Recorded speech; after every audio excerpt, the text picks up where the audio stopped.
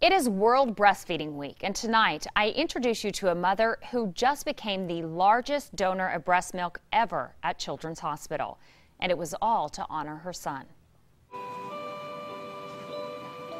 Meet Leo, a precious baby boy described as a bright light in this world. Leo was born two months early and he was diagnosed with gastroschisis. There's no skin to be able to pull over the exposed organs.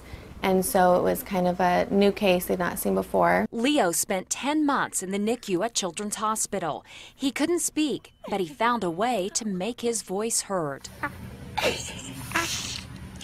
His mom shared this photo of the first time he got to go outside and the precious moments he got to spend with his older brother Sawyer. And we're still trying to figure out how to live a life without such a big part of it, you know, our little piece of our soul. Leo unexpectedly passed away October 22nd. We miss our Leo, and it's not even day to day, it's kind of moment to moment. Demi says she often felt helpless as she watched her baby boy in the NICU.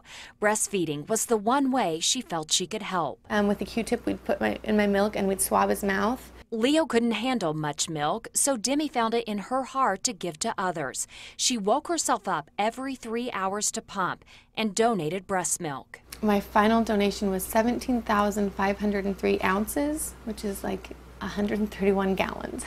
So a dairy aisle, basically. Demi became the largest donor ever at Children's Hospital. And with all that was going on in her life, she found it in her heart to donate to other babies. Children sends milk donations off to the Denver Milk Bank. It's sterilized and pasteurized and often ends up right back at the children's NICU. For our babies that are very small, our sickest, tiniest babies whose mothers can't provide all the milk that they need. It was the reason Demi kept pushing on to provide for babies like her son, who spent the first part of their lives hooked to hospital tubes, fighting and surrounded by love. He was worth it. He was worth all of this. His life in 10 months was the best 10 months of mine,